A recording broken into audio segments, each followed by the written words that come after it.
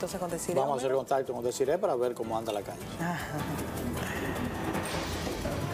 Desiree, buenos días. Buenos días, adelante.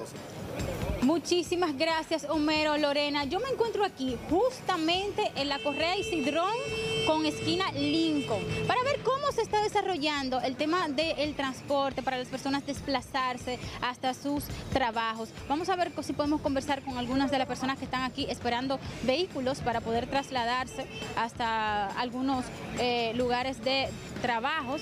Vamos a ver con quién podemos hablar con relación a esto. Muy buenas, hola.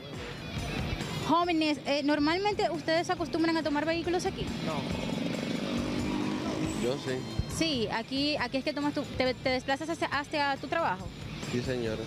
¿Y ah, te está dando, has tenido que esperar mucho tiempo? ¿Cómo está el flujo de vehículos aquí en esta zona? Muy lento. El, fluido de los vehículos está muy lento ahora mismo. Normalmente tú no tienes que esperar tanto tiempo. No. ¿Y ya qué tiempo llevas esperando aquí? Máximo como dos horas.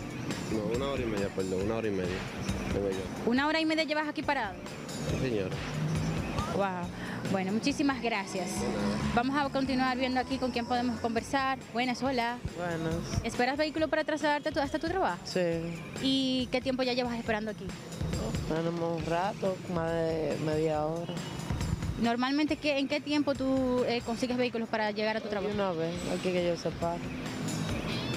Muchísimas gracias. Vamos a ver, señores, está un poco difícil el medio de transporte el día de hoy. Hola, ¿cómo está? Bien. Está, ¿Qué tiempo ya lleva esperando aquí vehículos? Como media hora. Media hora. ¿Normalmente usted encuentra vehículos con facilidad? Claro. Sí, se encuentra con facilidad. Pero hoy, incluso, déjeme decirle algo, eh, creen que le están haciendo daño al gobierno y no están haciendo daño a nosotros nosotros que nos están haciendo daño, no es al gobierno, a nosotros nos están haciendo daño. ¿Usted se va a dirigir ahora, a, dirigir ahora hacia su trabajo? Ajá. Un muy lamentable cómo se está desarrollando todo, señores, porque esto afecta a la gente para poder trasladarse hasta sus trabajos. Es eh, una pena que pues la gente tenga que esperar tanto tiempo y nada. De esta manera pues regreso con ustedes a los estudios. Perfecto, muchísimas gracias, gracias